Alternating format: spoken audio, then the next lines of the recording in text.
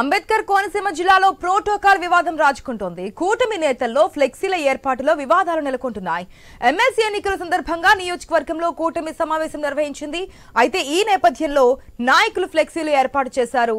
అందులో మంత్రి సుభాష్ ఫోటో వేయకపోవడంతో వివాదం నెలకొంది. అమలాపురం కొత్తపేట సమావేశాల్లో సైతం ఇదే రిపీట్ అయింది. దీంతో ప్రోటోకాల్ తగాదాలపై జనసేన పార్టీ స్పందించింది. ప్రోటోకాల్కు అనుగుణంగా ఫ్లెక్సీల ఏర్పాటు ఉండడం లేదని తెలిపింది. ఇకపై ఇటువంటి ఉల్లంఘనలకు పాల్పడితే క్రమశిక్షణా చర్యలు తప్పవంటూ హెచ్చరించింది.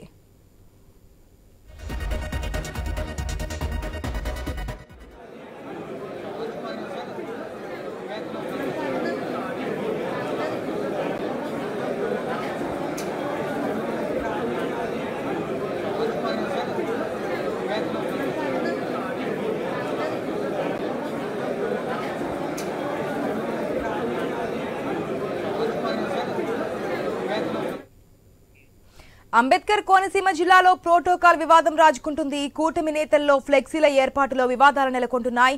ఎమ్మెల్సీ ఎన్నికల సందర్భంగా నియోజకవర్గంలో కూటమి సమావేశం నిర్వహించింది. అయితే ఈ నేపథ్యంలో నాయకులు ఫ్లెక్సీలు ఏర్పాటు చేశారు. అందులో మంత్రి సుభాష్ ఫోటో వేయకపోవడంతో వివాదం నెలకొంది. అమలాపురం కొత్తపేట సమావేశాల్లో సైతం ఇదే రిపీట్ అయింది. దీంతో ప్రోటోకాల్ తగాదాలపై జనసేన పార్టీ స్పందించింది. ప్రోటోకాల్కు అనుగుణంగా ఫ్లెక్సీలు ఏర్పాటు ఉండడం లేదని తెలిపింది. ఇకపై ఇటువంటి ఉల్లంఘనలకు పాల్పడితే క్రమశిక్షణా చర్యలు తప్పవంటూ హెచ్చరించింది. పూర్తి అప్డేట్స్ మా ప్రతినిధి గణేష్ ద్వారా తెలుసుకుందాం. గణేష్ ఏపీలో మెయిన్గా అమలాపురం కొత్తపేట సంబంధించినటువంటి సమావేశాల్లో కూడా ఈ ఫ్లెక్సీల రగడ ప్రోటోకాల్ వివాదం నడుస్తున్నట్టు తెలుస్తోంది. డీటెయిల్స్ ఏంటి?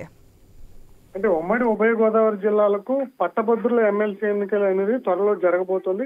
ఇదే క్రమంలో నియోజకవర్గాల వారీగా కూటమిని గెలిపించేందుకు నాయకులు సమావేశం అవుతున్నారు. ఈ సమావేశాలకు మంత్రులతో పాటు ఎమ్మెల్యేలు స్థానికంగా ఉన్నటువంటి ఎమ్మెల్సీలు పోటీ చేసేటువంటి అభ్యర్థులు హాజరయ్యి పట్టభద్రుల ఎమ్మెల్సీలు గెలుపు కోసం కృషి చేస్తున్నారు. కాకపోతే ఇక్కడ కూటమి అనేది ఏర్పడడం జరిగింది. Telugu Desam BJP Janasena party. అయితే ఈ మూడు నాయకుల యొక్క ఫోటోలు ఉండాల్సి ఉంది.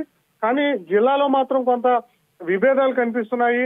ముఖ్యంగా ప్రోటోకాల్ అనేది నాయకులు పాటించట్లేదు మంత్రి కందుల దుర్గేష్ కావచ్చు మంత్రి సుభాష్ కావచ్చు వీరి యొక్క ఫోటోలు అనేవి ఫ్లెక్సీల్లో కనిపించట్లేదు. వాస్తవానికి మొదట పార్టీ అధ్యక్షుడి ఫోటో ఉండాలి ఆ తర్వాత ఆ సంబంధిత శాఖ మంత్రుల ఫోటోలు ఉండాలి తర్వాత ఆ- ఏరియాకి సంబంధించినటువంటి ఎంపీలు ఎమ్మెల్సీలు తర్వాత ఎమ్మెల్యేలు ఫోటోలు ఉండాలి. ఇలా వరుస క్రమం అనేది ఒక ప్రోటోకాల్ ఉంటుంది.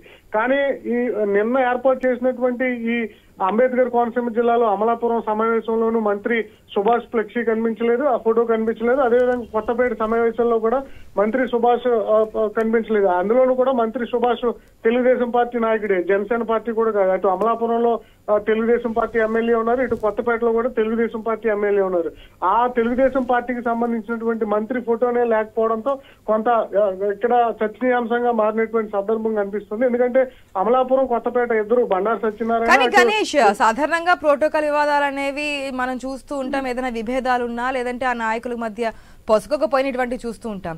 కానీ జనసేన నాయకులు స్ట్రిక్ట్లీ వార్నింగ్ ఇస్తున్నట్టు తెలుస్తుంది. ఈసారి కానీ ఇటువంటి ప్రోటోకాల్ వివాదం వస్తే గనక క్రమశిక్షణ చర్యలు తీసుకో చర్యలు తప్పవంటూ కూడా మరి అధిష్టానం ఏమన్నా ఇన్వాల్వ్ ఏదైనా చక్కబెట్టే వాతావరణం ఏమైనా కనిపిస్తుందా? ఖచ్చితంగా. ఎందుకంటే ఇటు కూటమి నాయకులు ఏర్పాటు చేసినటువంటి ఫ్లెక్సీల్లో చంద్రబాబు నాయుడు ఫ్లెక్సీ అంటే ఫోటో పెద్దగా ఉంటుంది. పవన్ కళ్యాణ్ ఫోటో చిన్నగా ఉంటుంది. దాంతో పాటుగానే జనసేన టీడీపీ నాయకుల యొక్క స్థానిక నాయకుల యొక్క ఫోటోలు పెద్దగా ఉండి పవన్ కళ్యాణ్ ఫోటో కూడా చిన్నగా ఉంటుంది. ఇదే క్రమంలో ఈ ఫిర్యాదు అనేది ఆ, అధిష్టానానికి అందడం జరిగింది. ఇదే క్రమంలో జనసేన పార్టీ అధికారికంగా ఒక ప్రెస్ నోట్ను కూడా విడుదల చేయడం జరిగింది.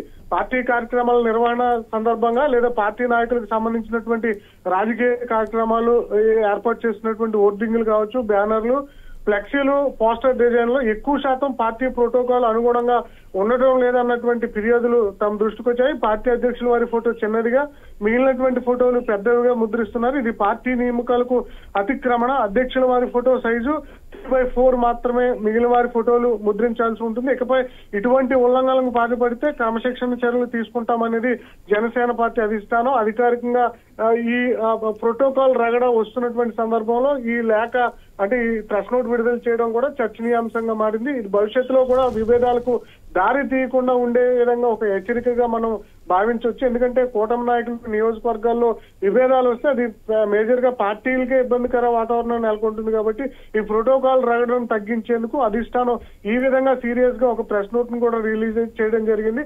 భవిష్యత్తులో ఇది రిపీట్ అయితే నేరుగా పిలిచి వారిని మందలించడం లేదంటే వారి మీద యాక్షన్ తీసుకునేటువంటి కార్యక్రమాలు కూడా చేయబోతున్నారు ఆశ. Right Ganesh thanks update